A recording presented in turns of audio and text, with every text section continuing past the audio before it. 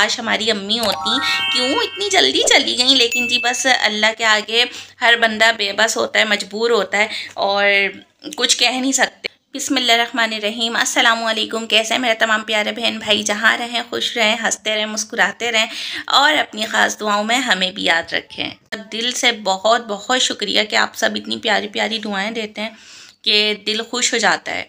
और ब्लॉग किस वजह से लेट आ रहे हैं, अक्सर लोगों के मैसेजेस वगैरह आ रहे हैं व्हाट्सअप पर भी तो इसी वजह से व्लॉग भी लेट आ रहे हैं क्योंकि आपको पता है कि मैं अकेली हूँ, होती हूँ घर में और सभी काम भी मुझे देखना होता है, सब कुछ मैं, मुझे ही मैनेज करना पड़ता है और मेरी ही तबीयत ठीक नहीं है। अभी भी आइज़ आप लोग देख सकते हैं, ये ये ना रेड हो रही है मेरी और अब जो है जो मतलब रेड हो रही थी ना, बहुत ज़्यादा और सूझ रही थी, उसमें अल्हम्दुलिल्लाह अल्हम्दुलिल्लाह थोड़ी सी कमी आई है।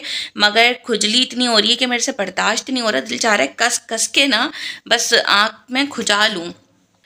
और आप सब बताएँ अपने कमेंट्स के ज़रिए कि क्या चल रहा है आप सबकी लाइफ में। और बस मेरा तो सुबह से शाम बस आराम आराम आराम, अभी भी बस ये समझ लें मैं उठ कर बैठी हूँ बहुत ज़्यादा क्योंकि मैं थक चुकी थी। मैंने कहा, नहीं भाई, अब उठूँ क्योंकि चूल्हे के पास जाने से डॉक्टर ने मना किया है। सब कुछ बस, लेकिन आज मेरा बहुत ही दिल कर रहा है ना कि मैं चिकन पुलाव बनाकर खाऊं, क्योंकि मेरा भाई भी, मेरी बहन भी मुझसे कह रही है, आप ही अब तो बना दो। मैंने कहा, चलो ठीक है, अब भाई बच्चों की तो फरमाइश पूरी करनी ही पड़ती है, आपको पता है, क्योंकि घर में जब कोई है भी नहीं पास टाइम हम बहुत ज़्यादा मिस करते हैं अपनी अम्मी को कि, काश हमारी अम्मी होती, क्यों इतनी जल्दी चली गई? लेकिन जी बस अल्लाह के आगे हर बंदा बेबस होता है, मजबूर होता है, और कुछ कह नहीं सकते, बस मौत बरह के जिसे कहते हैं, बहरहाल जी अल्लाह पाक मेरी अम्मी को जन्नत फिरदोस में आला मुकाम अता फरमाए और जितनी भी माएँ हैं इस वक्त उनका साया उनके बच्चों पर सलामत रखे। आमीन। हमारी दिल से दुआएँ, क्योंकि वो सिर्फ़ आप लोगों की अम्मी नहीं, हमारी भी अम्मी इतने प्यार करती हैं, इतनी दुआएँ देती हैं। तो जी चलते हैं किचन में और बनाते हैं मज़ेदार सा चिकन पुलाव और जिस जिसने खाना है वो भी आ जाए हमारे साथ मज़ेदार सा पुलाव खाएँ। और मैं इस वक्त बेड पर बैठी हूँ और बहुत बहुत ज़्यादा बस आराम कर करके ना थक चुकी हूँ। तो चलते हैं और पुलाव बनाते हैं। A few moments later. आज हम बनाने जा रहे हैं चिकन पुलाव। फ्रेंड्स यहाँ मैं ले रही हूँ चिकन आधा किलो। ठीक है ये आधा किलो चिकन का गोश्त है मेरे पास। साथ में मेरे पास है मैंने तीन बड़े साइज़ के टमाटर लेकर उन्हें इस तरह चॉप कर लिया है। और प्याज मेरे पास है दो दरमियाने साइज़ की दलियाँ उन्हें भी लेके मैंने चॉप कर लिया है। इसी तरह मेरे पास ये है आलू। और आलू भी मैंने इस साइज़ में, ये देखें कट्स कर लिए।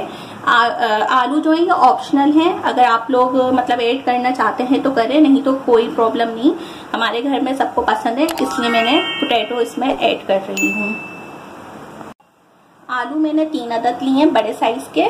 ठीक है अच्छा और ये हरा धनिया पुदीना है डेकोरेट के लिए। साथ में मेरे पास है यहाँ पर ये लहसुन अदरक का paste two two tablespoon भर के लिया है मैंने। अब मैं आपको मसाले बताती हूँ। सबसे पहले मैंने यहाँ पर मिक्स गरम मसाला लिया है, ठीक है? साथ में मेरे पास यहाँ पर टू टेबल स्पून भर के कुटी लाल मिर्च, इससे टेस्ट बहुत ज़बरदस्त आता है। और तीन से चार अदद मैंने यहाँ पर लिए हैं आलू बुखारे। साथ में मेरे पास है शानदार चिकन पुलाव मसाला। आप कोई सा भी जो आपको फ्लेवर पसंद हो, आप ले लें। तो वो यूज़ कर रही हूँ मैं।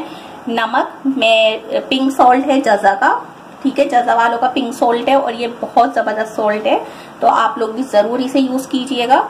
और साथ में यहाँ पर मेरे पास वन टेबल स्पून भर के कश्मीरी लाल मिर्च, इससे कलर बहुत अच्छा आता है।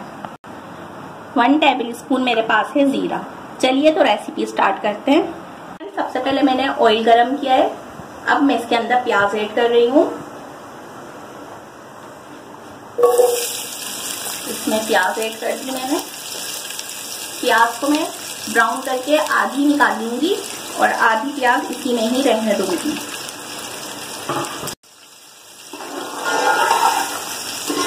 बहुत मज़ेदार रेसिपी है, आप लोग ज़रूर ट्राई कीजिएगा।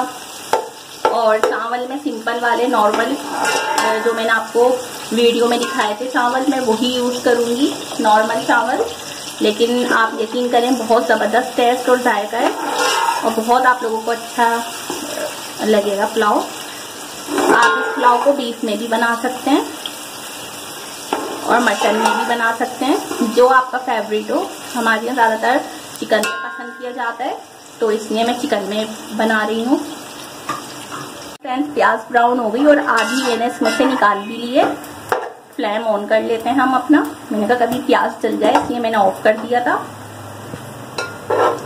अब मैं इसके अंदर लहसुन अदरक का पेस्ट ऐड कर दूँगी।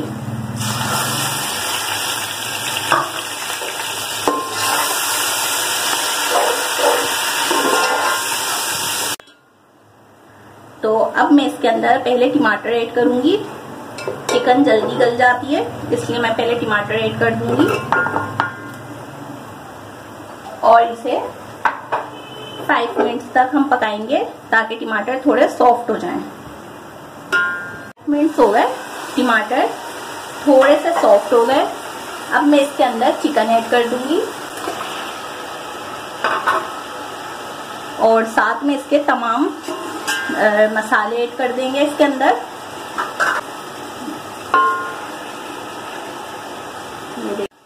अब इसके अंदर मैं आधा गिलास पानी ऐड कर दूँगी, ताकि चिकन अच्छी तरीके से गल जाए।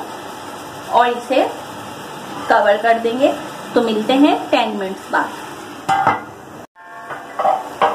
तो वो देखें फ्रेंड्स टेन मिनट्स हो गए और माशाल्लाह से बहुत अच्छी खुशबू आ रही है। और अब मैं इसके अंदर आलू ऐड कर दूँगी ताकि आलू भी साथ में ही गल जाएँ। ये मैंने आलू ऐड कर दिए और मैं इसे अब कवर कर दूँगी। तो मिलते हैं टेन मिनट्स बाद, जब तक आलू अच्छी तरीके से गल जाएँगे, इंशाल्लाह। तो देखें फ्रेंड्स, टेन मिनट्स हो गए, आलू भी गल गए अच्छी तरीके से।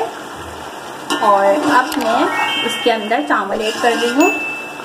पहले मैं इसे भूनूँगी एक दो मिनट, और उसके बाद फिर इसके अंदर मैं चावल ऐड कर दूँगी। खुशबू माशाल्लाह से बहुत अच्छी आ रही है।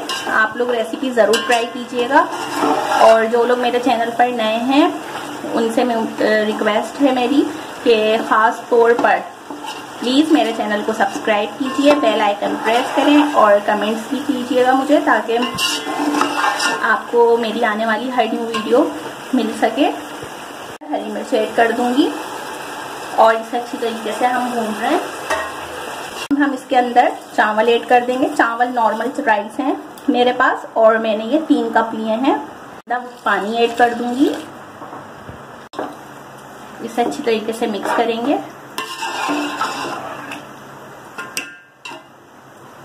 और कवर कर देंगे। जब पानी खुश्क हो जाएगा, फिर इसको हम दम पर रख देंगे।